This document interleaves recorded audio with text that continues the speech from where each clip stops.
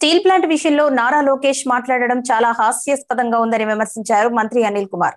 గతంలో టీడీపీ హయాంలో ఎవరెవరికి కాంట్రాక్ట్లు అప్పనంగా కట్టబెట్టారో గుర్తులేదా అని ప్రశ్నించారు. లోకేష్ వ్యాఖ్యలపై కూడా స్పందించడం దారుణమన్నారు మంత్రి అనిల్. ఆ పప్పు గురించి కూడా ఏం మాట్లాడతాం ఆ పప్పు గురించి కూడా ఈరోజు వచ్చిన తర్వాత వార్త స్పష్టంగా ప్రధానమంత్రికి ఒక లేఖ రాశాడు.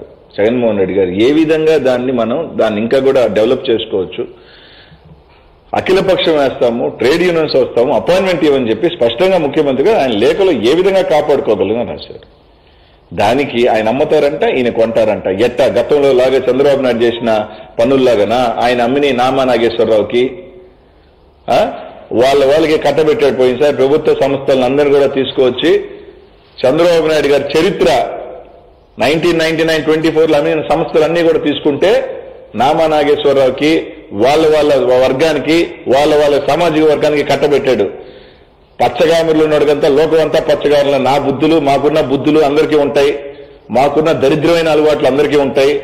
మేము చేసిన మా నాయన చేసిన ఎదవ పనులన్నీ కూడా ఇంకొకరు కూడా చేస్తారు అనుకోవటం అది వాళ్ళ వారసత్వం అని చెప్పి తెలియజేస్తా ఉన్నా.